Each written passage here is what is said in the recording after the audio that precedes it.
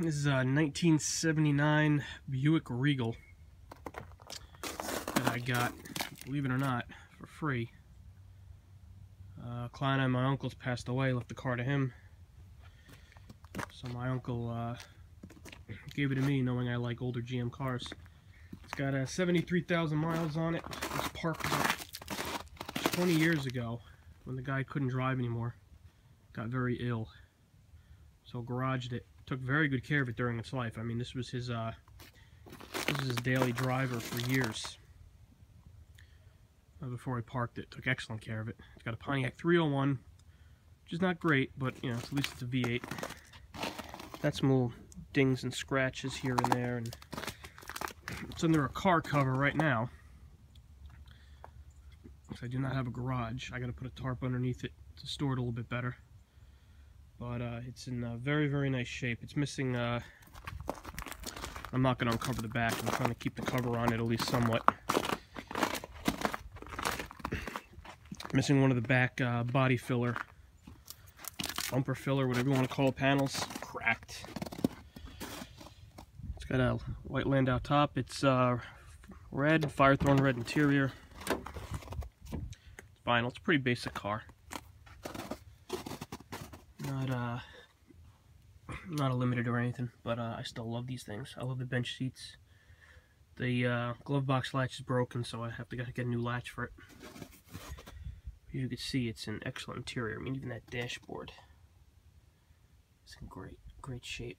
The seats, great shape, and this is all original. This was not redone or reupholstered or anything. Here's the back. You see it? Uh, I came out here to start it up because it's been sitting for two weeks, which I don't like to do. But I figure we do a uh, cold start. Why not?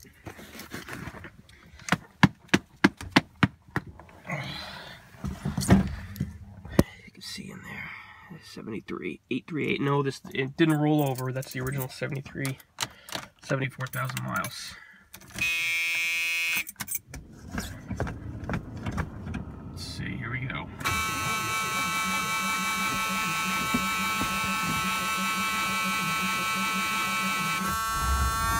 Oh. The sun's kind of getting in, getting in the picture there. There we go. Started right up. A little bit of cranking, but not bad for, uh, I forgot what it, what I just said it was, but I just looked on my other phone. It's, uh, feels like 12 out here. So, somebody put an aftermarket radio in at some point. Not crazy about that, but at least that radio. Heating and air conditioning works. If my voice sounds weird, it's because I'm sick. Sinus infection, a bad one.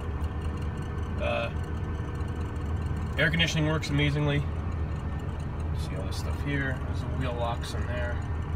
And even the carpet's in great shape. Look.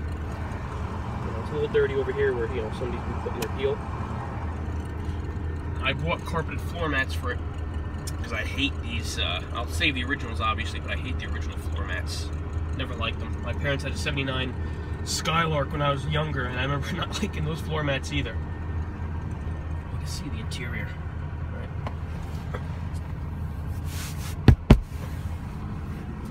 Oh, turn around. See the car cover in the back.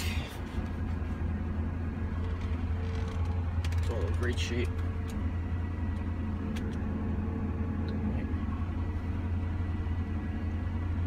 Keeping it outside, but I don't have a garage yet to keep it in. So it's gonna have to, uh, gonna have to suffice for now.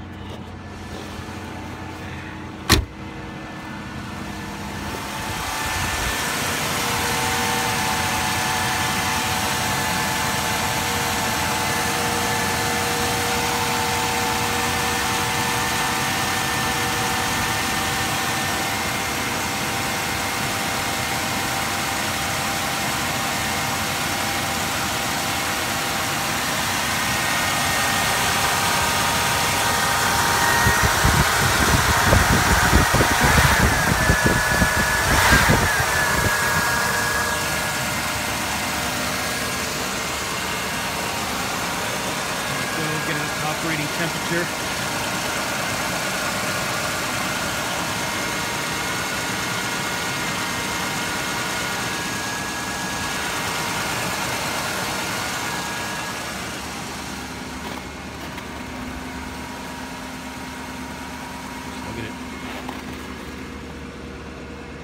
Shape.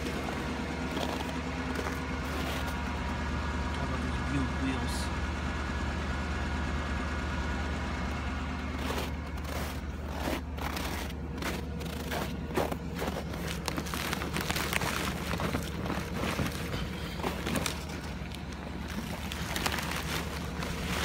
See, like I said,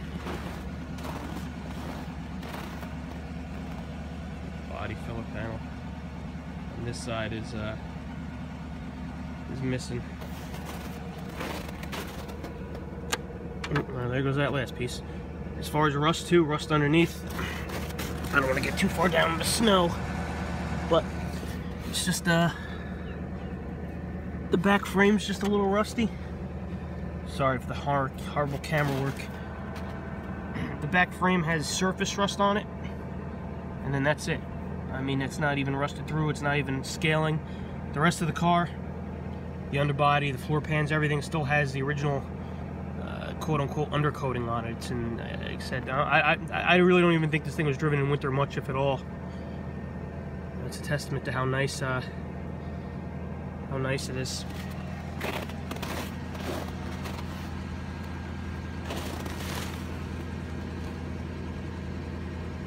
Definitely needs a wash and a wax and a detail. And uh, when the weather gets nicer. But there you go. I'm gonna let this uh, run for a while.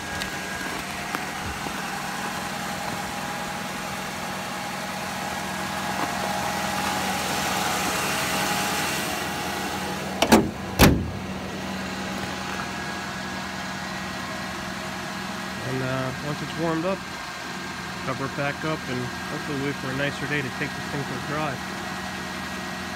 That's it.